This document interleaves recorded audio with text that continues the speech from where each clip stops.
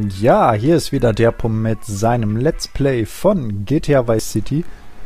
Wir haben ja gerade die Mission von dem Colonel und von dem Avery abgeschlossen und wollten nun die nächste Mission von Diaz machen.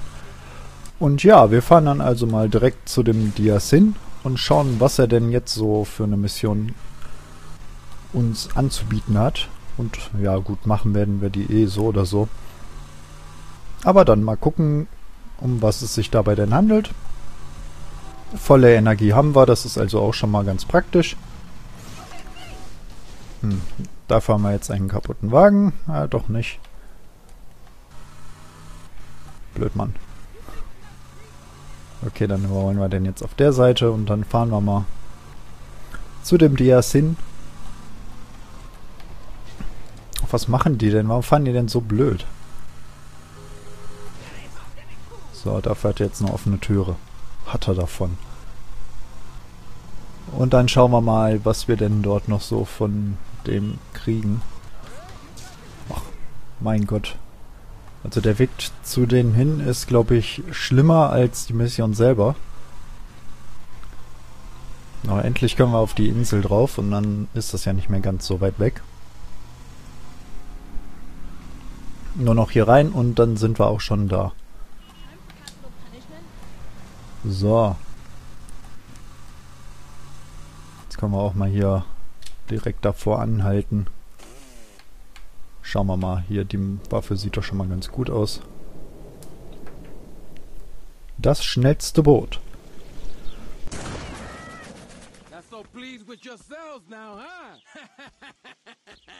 Whoa, watch where you're waving that thing. no more pigeon shit on Micah, eh, Tommy? Guess not. You're damn right. Now listen, you know who owns the fastest boat on the East Coast? Not offhand, no. Me! And I want it to stay that way. Every smuggler from here to Caracas has one dream a faster boat. Rumor has it the boatyard had just completed such a vessel for some Costa Rican dickhead. And Tommy, I want that boat. Ah, I thought I got you! Where'd you come from? Pigeon!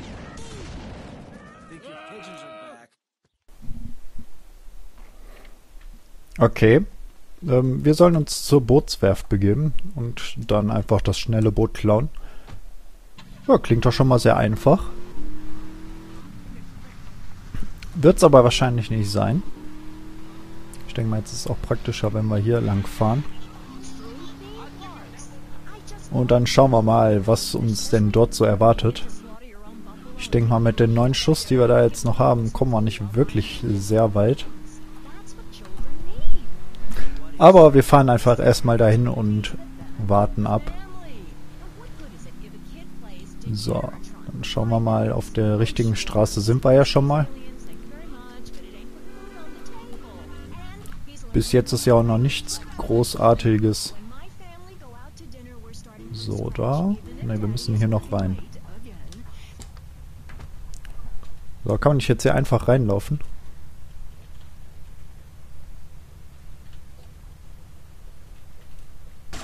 Wow, wow, wow. Uiuiui, also nee, die mögen es nicht so wirklich.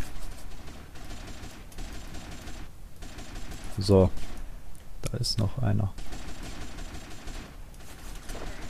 Ja, und jetzt haben wir den auch. Da ist noch einer. Und den dann auch noch. Und hier drinnen höre ich auch noch. Noch ein paar Leute. Suche den Schalter, um das Boot abzusenken. Ja, der wird dann wahrscheinlich einfach nur hier drinne sein. Wo ist der denn?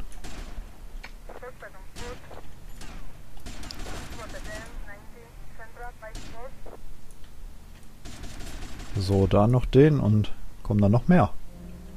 Sammeln wir jetzt ja auch nochmal hier schön die Munition ein. Und ich tippe darauf, dass die uns hier auch noch... Nix da. Ja, die haben auf jeden Fall Hammer und Schraubendreher. Also Sachen, die man nicht haben möchte. Ach so, senkt man das Boot ab. Und jetzt soll ich in das Boot... Uiuiui. Ey, ey, ey, ey, ey, das ist das fies. Ich war nicht darauf vorbereitet. Ey, hallo. Steht er noch auf? Ich hoffe nicht. So. Uh, da sind ja doch noch ein paar mehr. Und wir haben wieder nicht so viel Energie. Ah, hoffen wir mal, dass das jetzt alles war. Aber das sieht doch schon mal ganz gut aus. Bringe das Boot zur Villa. Ja, das äh, dürfte ja kein Problem sein. Wir haben ja schließlich das schnellste Boot und da ist auch schon das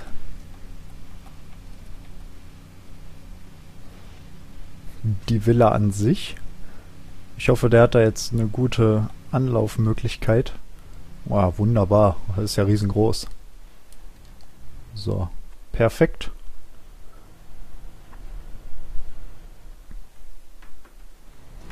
Ja, da haben wir ja mal eine ganze Stange Geld bekommen mit 4000. Jetzt können wir auch mal hier die Villa ein bisschen begutachten.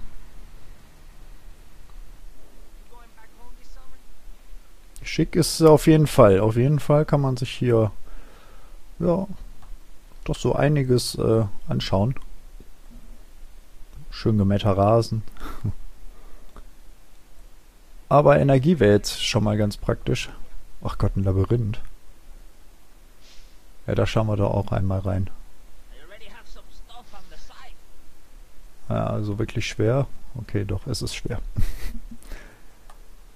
Man kann zumindest nicht einfach mal so eben hier so. Vielleicht ist hier auch irgendwas Besonderes drin. Hm. Tatsache, ein Scharfschützengewehr. Einfach mal eingesammelt. So, weg mit dir. Und dann suchen wir mal... Ach, verdammt. Kommt man denn jetzt hier raus? So. Das ist mir egal, jetzt gehe ich hier außen rum. Und dann schauen wir mal, dass wir jetzt ein Herz finden. Weil so komplett ohne Energie... Hm, nee. Das ist nur so eine Adrenalinpille, die bringt uns nichts.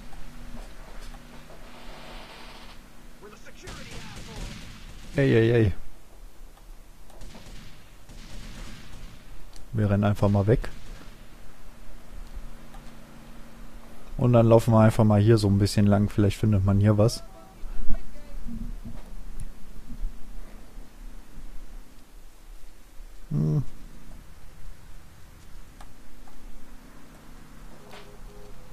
Dann schauen wir doch mal. Hier war doch, glaube ich, eine. Oder auch nicht. Naja gut, auf jeden Fall. Wow, wow, wow. Der hat gute Bremsen. Auf jeden Fall ganz gute. Im Zweifel fahren wir dann halt mal äh, zu dem anderen Teil hin. Aber hier... Äh, hier ist nur eine Schaufel. Die Schaufel, die bringt uns nichts. Vielleicht gibt es ja hier auch schon ein bisschen Energie. Können wir auch mal gucken, was es denn hier überhaupt zu kaufen gibt. Schraubenzieher, einen Hammer, Fleischbeil, Baseballschläger und eine Machete. Na, interessiert mich jetzt gerade nicht so alles. Hier eher das Maschinengewehr, das ist doch schon eine zuverlässige Waffe. Ja, wir passen natürlich auf dein Auto auf, kein Problem. Ne, wir fahren jetzt einfach nochmal hier zu der zu dem Krankenhaus hin. Da weiß ich, dass da es auf jeden Fall ein bisschen Energie. Und dann starten wir einfach mal die nächste Mission. Ist ja jetzt ein bisschen Zeit draufgegangen, nur weil wir Energie gesucht haben. Und das ist ja nicht ganz so tragisch. So, dann fahren wir mal wieder zurück. Theoretisch können wir uns jetzt auch schon auf den Weg machen, mal ein, eine neue Wohnung zu kaufen. Weil das ist ja jetzt auch so eine Neuerung in GTA Vice City, dass man Wohnungen kaufen kann. wo man dann halt speichern kann und so den ganzen Kram. Aber wir fahren jetzt erstmal wieder direkt zu dem nächsten oder zu Dias zurück und machen die nächste Mission. So, da sind wir auch schon. Ja, perfekt. Schauen wir mal, was der jetzt so zu bieten hat. Ah, da oben war noch eine Energiepille. Angebot und Nachfrage. Jack, plastic crap! You're doing this to me? Who do you think you are, you piece of plastic shit? Oh.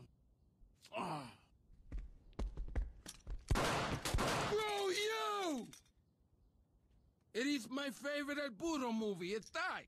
What else can I do? It's probably not plugged in. What?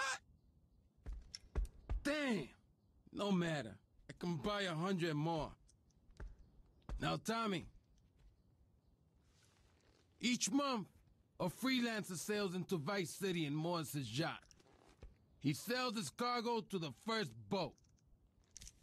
I want you to take the speedboat and beat all the other shitheads to it. Then you bring the cargo here. Okay?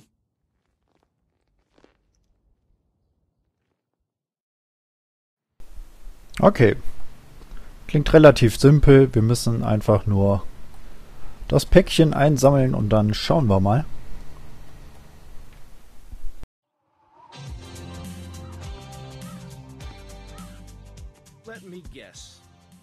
You thought I could use a guardian angel. I'm just saying, you need to let me in there, my man. Now, you can feed me all this lonely tough guy crap. But I know one day I'm gonna save your ass, and you're probably gonna wanna kiss me. Wacko. We got some competition!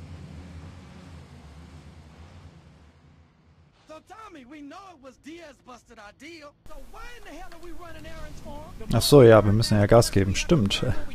Warum sitzt man denn nur auf, nur auf der anderen Seite? Erstmal den Start verpasst. Ganz schön, ganz klassisch. Müssen wir jetzt wirklich da lang? Ich bezweifle das ja irgendwie. Aber schauen wir mal. So, da sind wir doch schon mal ganz gut. War das jetzt auch das, das erste, das, das eigentliche Gewinnerboot oder war das aber hier fies durch den kleinen Kanal durch? Hätte ich ja doch besser die offene See bevorzugen können. So, muss ich da jetzt noch irgendwas machen? Nö. Ach, jetzt darf ich hier schießen. So, dann da schießen wir jetzt erstmal hier alles kurz und klein. So. Noch irgendwo was? Erstmal nicht. Eieiei. Zustand Boot. Oh, das sieht doch auf jeden Fall schon mal noch okay aus. Da ist nichts, hier ist auch nichts. Ein Helikopter.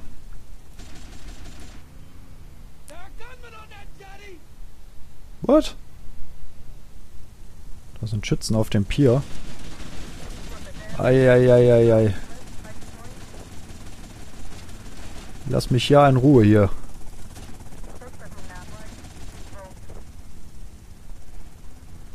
Uiuiui, da vorne ist auf jeden Fall auch irgendwas. Boah, was haben wir uns denn für eine raue See hier ausgesucht? Ist ja schlimm. Ne, da ist nichts mehr hinter uns, nur noch hier vor uns das. Boah, das ist ja mal sowas von übel am Schwanken. Uiuiui. Jetzt aber. Ja, okay, man kann auch einfach drauf stehen bleiben. Tschüss, du hast keinen Fahrer mehr. Also so gut äh, sieht das Boot jetzt auch nicht mehr aus.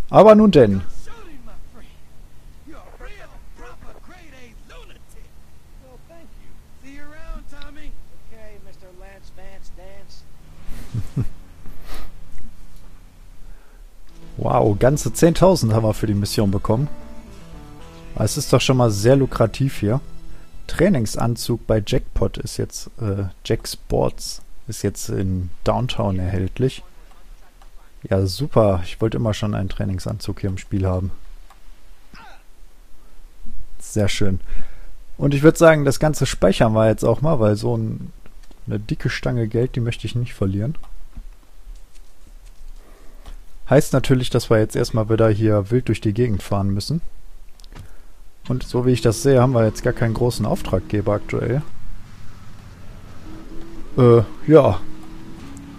Sprich, wir müssen also erstmal noch auf einen Handyanruf warten oder wir starten jetzt die... Oh, fast hätten wir uns überschlagen oder einen Unfall gebaut. Sehr gut. Über zwei Autos drüber. Und dafür nur 22 Dollar. Ah, ein bisschen wenig, aber ist ja nicht so tragisch. Wir haben ja jetzt schon 26.000. Also doch schon ein bisschen was. Wenn wir jetzt hier noch die ganzen Nebenmissionen machen, dann kriegen wir auch noch eine, ja, eine ordentliche Summe dazu. So, den parken wir erstmal hier. Und natürlich ein obligatorischer Handyanruf.